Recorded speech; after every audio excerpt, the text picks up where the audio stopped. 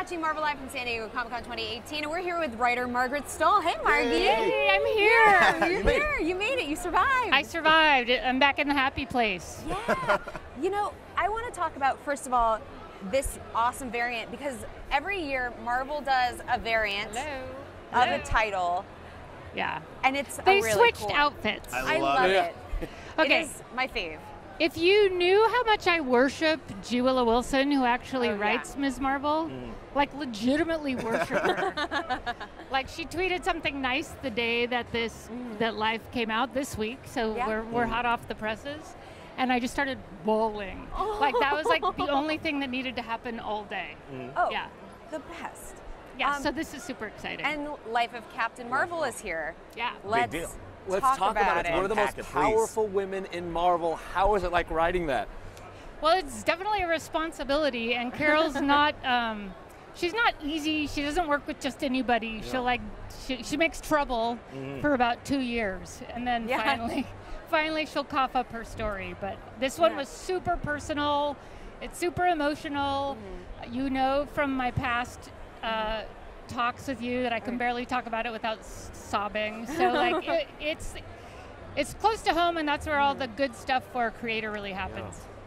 Yeah, you you do such a beautiful thing with Carol, you know, through your run of, of Mighty Captain Marvel and, and now going into Life of Captain Marvel, where you put her in tough situations that aren't just tough for her fighting aliens or whatever wherever she is.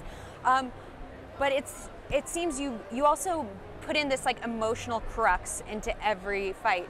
Uh, where do you where do you find that?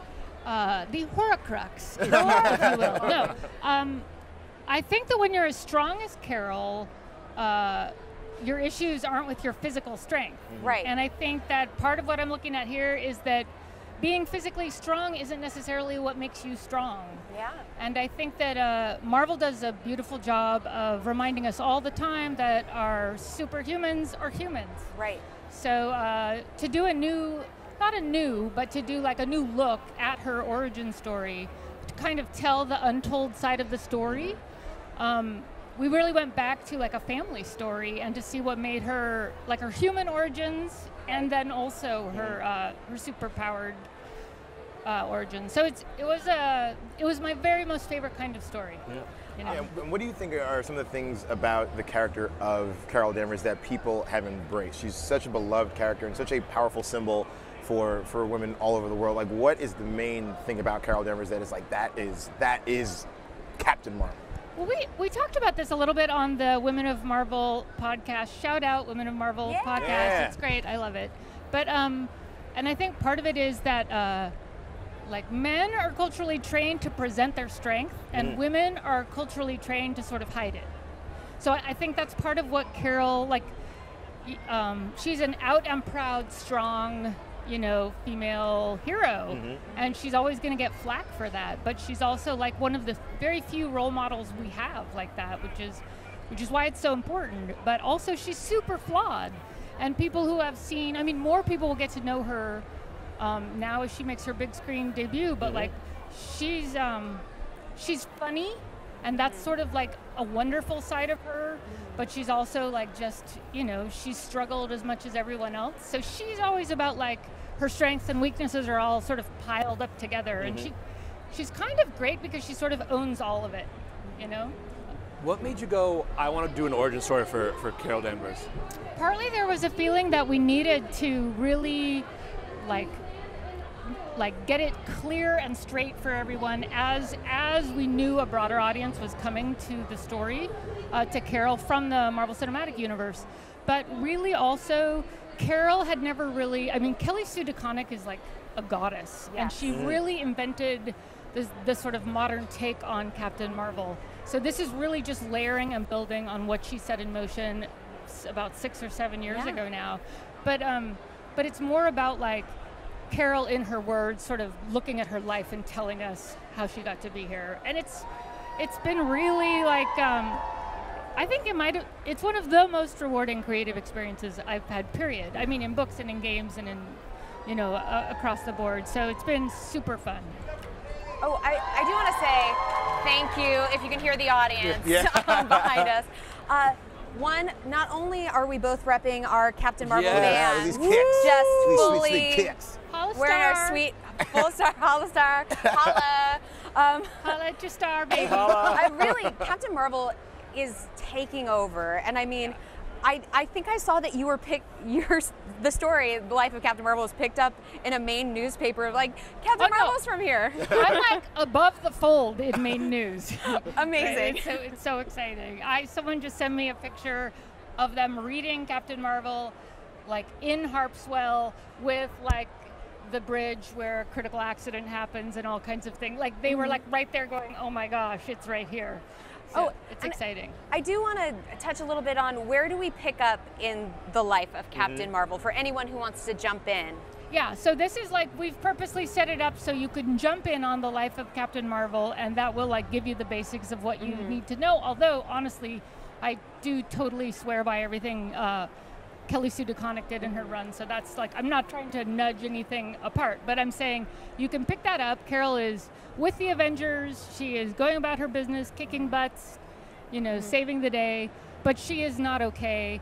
And actually, what sets it all in motion is Father's Day, and mm-hmm. which which actually is a thing you can kind of watch happen. Uh, You know, as these online now, as we all talk to each other. Mm-hmm. And it's her old friend Tony who finally sits her down and is like, "You got to get your business straight." Um, and I love their friendship. Like Well, they've been you through their ups love and downs. Tony Stark, and I know this. I know this from your Black Widow book because you're always going on about like. But I could write like a million pages for Tony. I think I think they cut 70 Tony Stark pages out of that Wow. book. I, I like a bad Tony Stark joke more than anyone. I have like a little bad Tony Stark that sits on one of my shoulders. I don't even really have a. I used to say I had a pepper, but I just have a bad Tony. I have two. Well, what is it about Tony Stark? What is it about Tony Stark you love? What, what's so cool about him to Uh, you know, a lot like Carol. He's cracked, Yeah. and he owns it. and he's like, deal with me. I'm a force of nature. I have a big ego. I'm strong. I'm powerful. I'm all of these things. I am totally messed up, and a lot of that also is from his family. So I think that like, I think those issues are so relatable. And everybody is working out their, you know, relationship to their family their whole life, and so I, I sort of love seeing, you know, that's that's essentially also like the joy of Peter Parker Yeah. is Yeah. like you're working out your family, like we all are. As this series continues, what can fans look without giving any secrets and spoilers? What can fans look forward to? Um, it's a very real story. It's a super emotional story, and the stakes will just get bigger and bigger. And by the end, you will understand. You will kind of understand what makes her tick, and you will understand. You will see her story in an in an entirely new light. Yeah. Well, I do have a bunch of fan questions here. I don't think we're going to get to many, but someone said, Margie, I honestly love Life of Captain Marvel, already one of my all time fave Carol stories, super important for old fans like me and new ones. How will the series impact her life moving forward to her most epic year ever, 2019? Ooh, I, that just give me goosebumps. yeah. Uh, it will impact her. Uh, she will be different moving forward. So uh, Marvel has been really supportive about putting some big stakes in the ground. So it's going to be interesting. So I can't really say anything. I will just say thank you, unknown internet friend, and uh, and hold on because it's going to be a real ride. Um, that I can promise. Well, and another person wanted to know what it was like to write the Black Widow novels, but also you got to write Black Widow and Captain Marvel together. Yeah. Yeah. You got to bring your two boos together. How was that? my bays and my booze. Yeah, no. Uh, Women of Marvel has been important to me. I love showing women friendships. Yeah. Um, and it's been, you know, whenever I get to show Jessica, e- either of the Jessicas, the Jesses, Yeah. uh, for uh, for Captain Marvel, and also I loved, you know, I was heartbroken when Ms. Mar- Kamala and Carol had a parting, I know. and happy when they had a a non-parting. So it, you know, I love I love that, and I think that um, people are different around their friends than they Mhm, are absolutely, around, you know, the the people they're saving. I know I am. Oh, and on a personal note, just thank you for Cloak and Dater, the Soups dating app. One of my favorite Dater. puns. Cloak and Dater, you're welcome. Uh, yeah, and Okay. you will notice there is also I brought I, I have multiplied the cats. That's another thing you Yes. can Yes. always Oh, depend upon for me. Always Her cats. cat Now- from home is fighting with her alien cat. Now with more cats. You're welcome. Um, and one more fan said, Margie loving the new Carol hairstyle in life, and the reason why she let her hair grow back again. When and how did you guys decide it was time for a change? Yes. So Carol has had a controversial hair story always, and truth, truthfully, what happened was um, Carol. We needed to show that it was not business as usual. That Carol uh, is taking time out, and that this is a real change, and that like her life is. She has stepped out of her regular life, and I know for me, that's one of the things that happened. Is like I stopped thinking about, you know, anything really. Right. So like you're not taking care of yourself in that way. And then we also wanted to show her seeming younger. Like people, you know, I walk in through my house, it's my parents' doorway, and I regress. Oh, And- yes, right? we all do, So, like- don't we? so Carol is like, you know, forced back into her childhood bedroom, and there's a scene from one uh, line from one of the comics I was just revising that's like, it's the return to the scene of the crime. You know, the evidence is all still here. So, um, so that was part of it too. Is like, she's confronting her childhood. So that was part of the thing we wanted. But also, um, I, I support like women heroes and women and like dogs and cats and boys having whatever hair they want. Like I don't think it necessarily has to mean anything and and I think that she was she was pivoting and you know it was time for different hair so she got it. But I didn't mean anything other than like a uh, I wanted to show change. Yeah. Yes.